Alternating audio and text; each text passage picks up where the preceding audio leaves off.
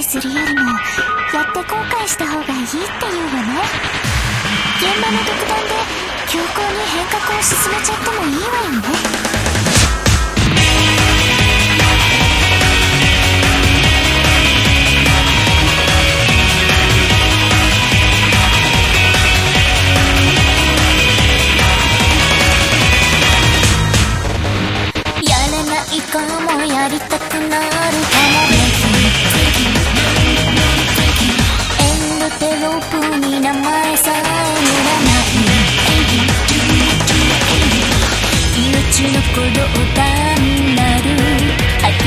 しか思えないし答えさなんてどうでもいいじゃない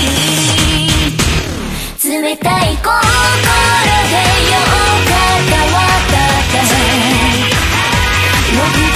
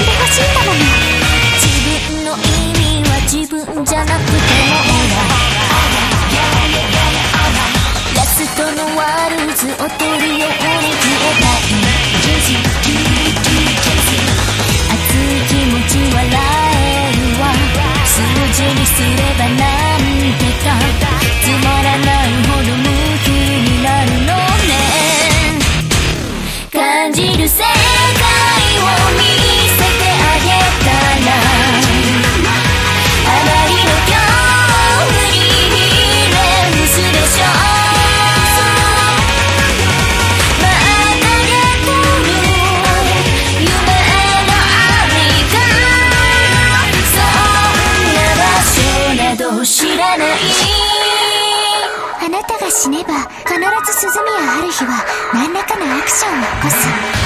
多分大きな情報爆発が観測できるはず。また来ない機会だわ。